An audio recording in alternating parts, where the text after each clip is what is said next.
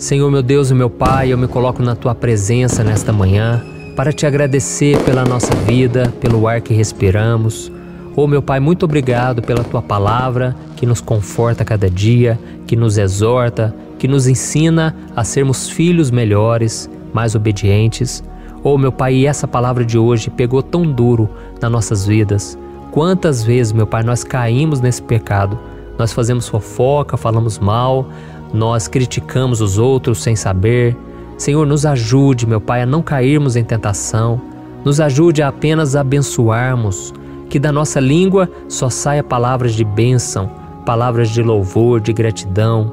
Nos ajude, meu Pai, a vencermos este mal que muitas vezes está no nosso coração, a falta de perdão, a inveja, a ganância. Nos ajude, Senhor, a romper com tudo isso, porque queremos ser santos, meu Pai. Queremos andar na tua presença a cada dia. Nos ajude a obedecer a tua palavra. Oh Senhor, o próprio Cristo disse que nós seremos julgados pelas palavras que proferimos. Então nos ajude, Senhor, a controlarmos a nossa língua. É o que te pedimos hoje, meu Pai, que a gente possa também ser humildes para pedir perdão caso tenhamos machucado alguém. Que o Senhor nos dê relacionamentos abençoados, casamentos abençoados, Pai, que durante as discussões a gente não venha devolver na mesma moeda, a gente não venha falar palavras que depois a gente se arrepende e depois a gente tenta voltar atrás. Nos ajude, Senhor, a demonstrar amor, demonstrar carinho, compaixão através da nossa língua, que a gente possa falar de Deus para as pessoas, parar de falar de nós mesmos, parar de ficar se exaltando, mas que da nossa boca saia palavras cheias de humildade palavras de amor, de bênçãos, de esperança. Nos ajude também, meu Pai, a encorajarmos as outras pessoas com a nossa boca.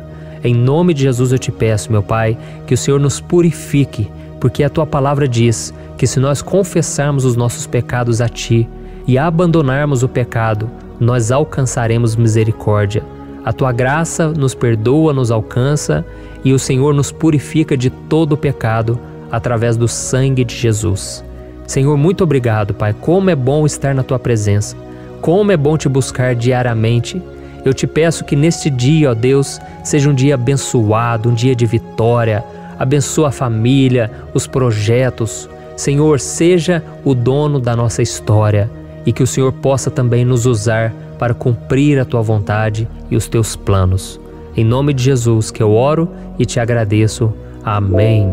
Glória a Deus. Na mensagem de hoje, eu quero ler com você uma passagem que está em Tiago, capítulo 3, o versículo 9 ao versículo 12.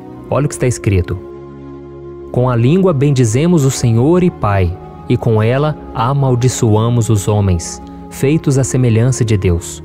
Da mesma boca procedem bênção e maldição. Meus irmãos, não pode ser assim. Acaso podem sair água doce e água amarga da mesma fonte? Meus irmãos, pode uma figueira produzir azeitonas ou uma videira figos? Da mesma forma, uma fonte de água salgada não pode produzir água doce. Olha isso, irmãos, isso é muito sério, é um assunto que pouca gente fala, mas que atrapalha tanto a nossa vida espiritual. É a respeito da nossa língua. Se você ler alguns versículos antes, você vai ver ele dizendo, o escritor Tiago, que uma pessoa que sabe controlar a sua língua é considerada uma pessoa perfeita, uma pessoa completa diante de Deus. Isso porque as palavras que saem da nossa boca têm um poder incalculável. Elas podem tanto ajudar, encorajar, edificar uma pessoa, como elas podem destruir quando nós ferimos, julgamos e condenamos as pessoas.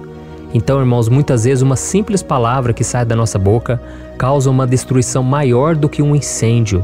É isso que está escrito se você ler um pouco antes no livro de Tiago. Então é algo muito sério e muitas pessoas não se atentam para isso. Eu fico vendo tanto crente, tanto cristão aí falando coisas bobas, coisas fúteis, coisas que geram malícia, que trazem a sensualidade, homens que ficam comentando sobre outras mulheres, é, mulheres também que ficam fazendo fofoca. Isso engloba a todos nós. E eu sei que falar é fácil, mas o difícil é praticar. Realmente é muito difícil controlarmos a língua. Talvez você não é aquela pessoa que amaldiçoa o seu irmão, mas o simples fato de você fazer uma fofoca, isso já está prejudicando a imagem da outra pessoa. Às vezes também você não faz fofoca, mas você é aquela pessoa que não fala nada quando deve falar. Às vezes alguém fala mal de alguém para você e você fica quieto, sendo que você deveria defender aquela pessoa ou simplesmente falar para a pessoa o seguinte: olha, vamos parar de falar sobre o fulano, a ciclana, vamos parar com isso. Então é muito difícil nós sabermos usar as palavras na hora certa, no momento certo. E eu vejo que isso é muito importante se nós quisermos dar um bom testemunho, porque se você for uma pessoa moderada, uma pessoa equilibrada, você vai falar as palavras na hora certa, sem ser aquele crente chato, aquela pessoa bitolada que só fala, por exemplo, das coisas de Deus. Isso não quer dizer nada, viu, irmãos? Tem pessoas que ficam falando de Deus o tempo todo, mas a vida delas não condiz com aquilo que elas falam. Então deve haver um equilíbrio, precisa haver esse equilíbrio porque as pessoas de fora estão observando o nosso comportamento, aquilo que a gente fala, e o próprio Jesus disse que as nossas palavras, aquilo que sai da nossa boca, é aquilo que vem de dentro do coração. Então, se você quiser saber o que está no coração de uma pessoa, veja o que ela fala. Será que diante de uma luta, essa pessoa só reclama, só fala mal deste mundo, do governo, das pessoas? Ou será que ela é uma pessoa que adora a Deus? Que ela está sempre dizendo: Não, Deus está no controle, vamos confiar no Senhor, vamos depender de Deus, Deus não vai nos abandonar. Isso revela se a pessoa tem fé ou não, porque aquilo que sai da nossa boca é aquilo que está no nosso coração. Mas infelizmente muitos cristãos não têm se atentado a isso e tem falado coisas negativas a respeito dos outros, a respeito de si mesmas.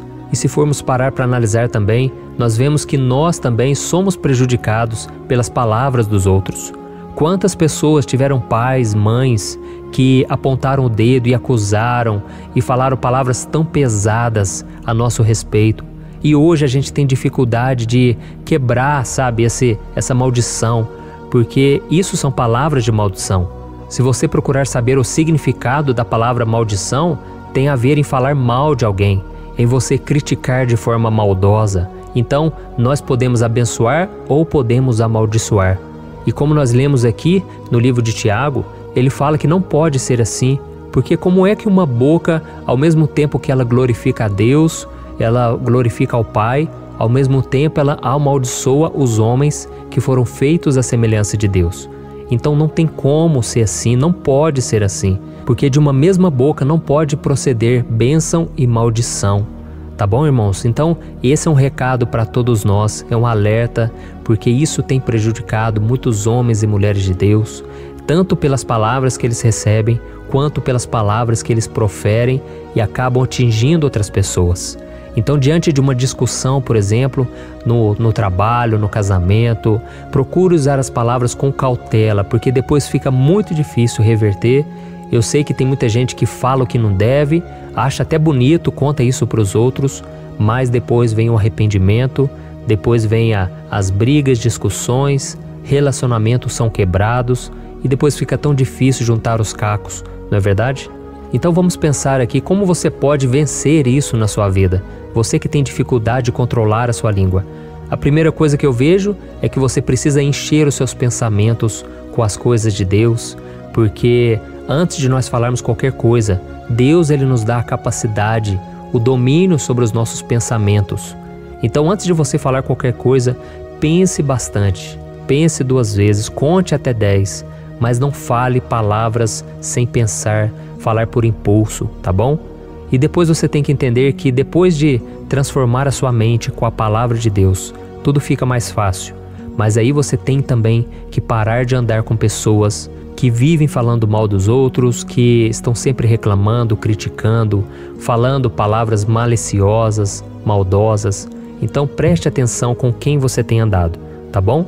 Então essa é a mensagem que eu queria trazer e agora eu quero orar por você eu quero interceder pela sua vida e pedir que o Senhor te ajude a controlar sua língua, pedir que você seja uma bênção nas mãos do Senhor, que as pessoas à sua volta percebam a diferença a partir de hoje. Amém?